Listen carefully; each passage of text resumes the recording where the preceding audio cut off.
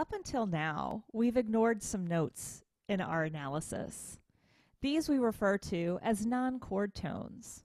Well, today's the day where we're going to dig in and try to understand how these non-chord tones work. They are used widespread in a lot of different tonal music, spanning a lot of different genres. Non-chord tones are used to embellish and activate melodic lines. And we define them by how they are approached and resolved. In this video, we're going to start by looking at three of the most commonly used kinds of non-chord tones, the passing tone, the neighboring tone, and the suspension. Let's dig in.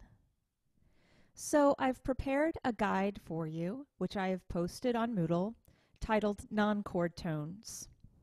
Figure 1 from this guide summarizes all of the different types of non-chord tones that we can encounter in tonal music, what the names are, how we abbreviate the name. Um, I give you an example, and I also define how these non-chord tones are approached and resolved. The most common type of non-chord tone is the passing tone. We've seen a lot of these, even if we haven't discussed them explicitly. They basically fill in stepwise motion between two notes that are related by third. In the example I've given you, the G is the non-chord tone.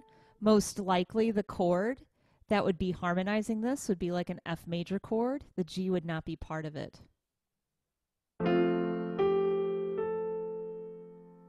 Whereas the F and A are. Passing tones are approached by step and resolved by step in the same direction that they are approached in. Neighboring tones are also quite common. These embellish a single note. The example I've provided here for you, imagine it harmonized by an F major chord. In which case the G is just an upper neighbor note to the F, which is the chord tone. They are thus approached by step and resolved by step in the opposite direction to the note that they were approached by. The last type we are going to explore in this video is the suspension. These are very exciting, emotive non-chord tones. They are approached by the same note and always resolved down by step. In this case, the first G would be a chord tone. Then that G becomes a non-chord tone when the chord changes beneath it and resolves down to the chord tone, which in this case is F. Here's my example.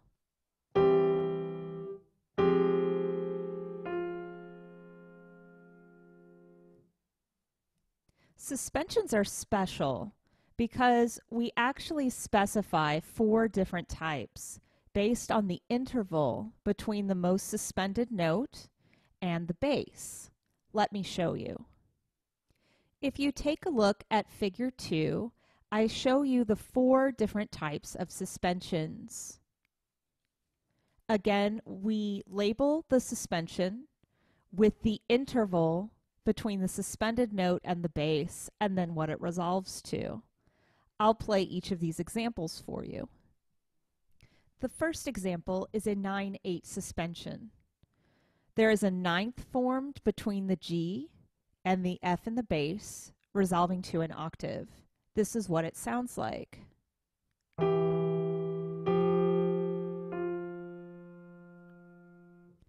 The next one I'd like to show you is the 7-6 suspension.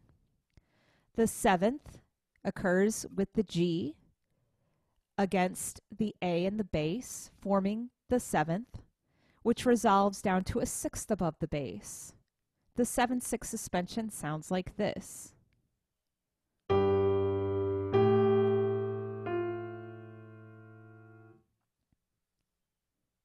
The 4-3 suspension features a fourth above the bass. In this case, G is above a D, which resolves to a third above the bass, in this case an F above the D. The 4-3 suspension sounds like this.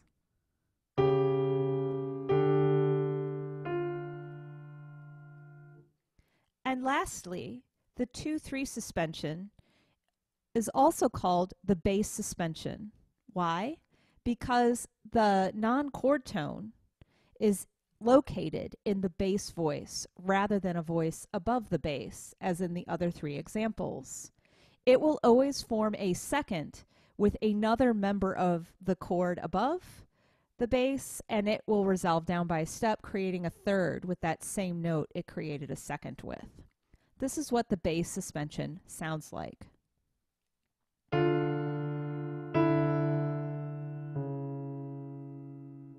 So that gets us started with three different commonly used types of non-chord tones. The passing tone, the neighboring tone, and the suspensions. Remember, suspensions are special because we have to remember to label the interval information about the suspension and its relationship to the bass. I've got a great musical example for you that will illustrate many suspensions. This is a piece called Stabat Mater, a choral piece by Pergolesi, an Italian composer active in the early 18th century. Let's take a look. What I'm showing you here is an annotated version of the score. I have marked 4-3 suspensions in purple, which first appear in the second violin part. What you'll see is that for these 4-3 suspensions, the note that is sustained in the second violin begins as a chord tone, the F, for example, in measure 1. But as its duration unfolds, when it gets to beat 3, it forms a fourth above the bass, which is the dissonance, hence the non-chord tone. And when it resolves down by step to E, that would form a third above the bass note C.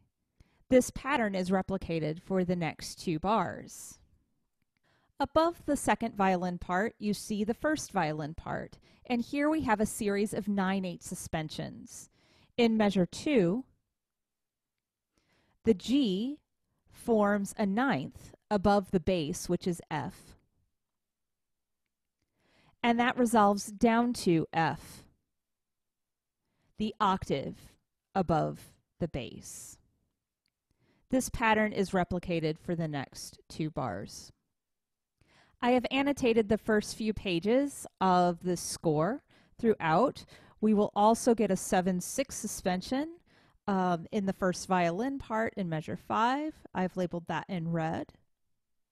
When the voice parts come in, we get our 9-8 and 4-3 suspensions, like what we had in the beginning with the strings. Let's listen to this beautiful example.